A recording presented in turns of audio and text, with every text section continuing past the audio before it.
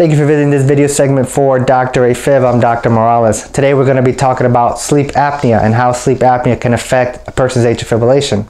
So first of all, what is sleep apnea? Uh, sleep apnea is a sleep-related uh, disease where people basically stop breathing while they're sleeping.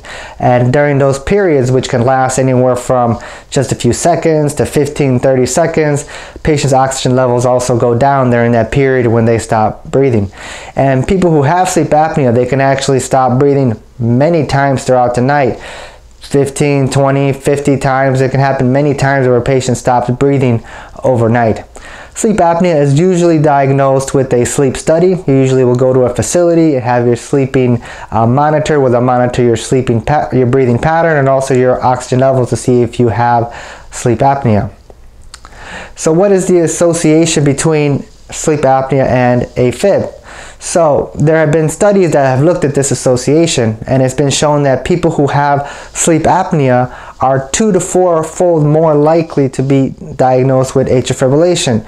So there is certainly an association between the two and anybody who's been diagnosed with atrial fibrillation undergoing evaluation for sleep apnea with a sleep study is certainly a very important screening tool for anybody who gets diagnosed with atrial fibrillation. Now we know that there's an association between the two, but does treating sleep apnea also help improve a person's AFib? And the answer to that is yes. There have been studies that have shown that managing sleep apnea can also help improve a person's AFib. There have been studies that have shown that managing sleep apnea using what's called CPAP, where they put a heavy oxygen mask uh, while a patient is breathing to help facilitate their breathing, can improve a person's AFib by about 42% uh, with a significant reduction of, of amount of a person's AFib when the sleep apnea is being properly treated.